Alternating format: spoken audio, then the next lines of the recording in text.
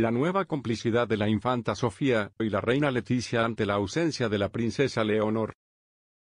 Desde que la princesa Leonor se internara en Gales el año pasado, los días de la infanta Sofía, su única hermana y fiel compañera, se habrían visto notablemente modificados.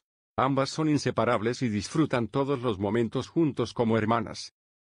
Sofía y Leonor tienen casi la misma edad, comparten los mismos gustos y van juntas a todos lados, pero desde agosto pasado han tenido que separarse para cumplir con las exigencias de la estricta formación de Leonor como futura reina de España.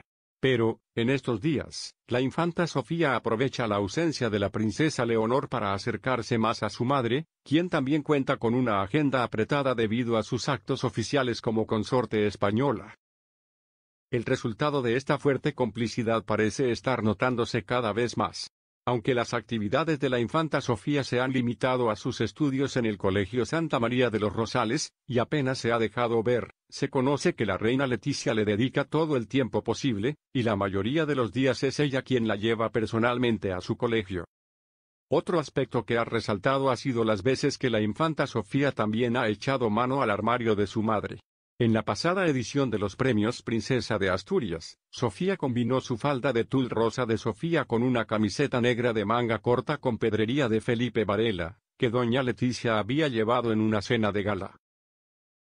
La infanta Sofía lució la camiseta de Felipe Varela que pertenece al fondo de closet de la reina Leticia.